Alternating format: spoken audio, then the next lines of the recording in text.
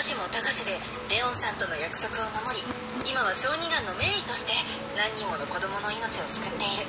レオンさんと守さんに出会いここまで人生が変わるとは。今度レオンさんと守さんと飲みに行く予定だ。もちろん高しも来る。レオンさんとの約束を守っていることを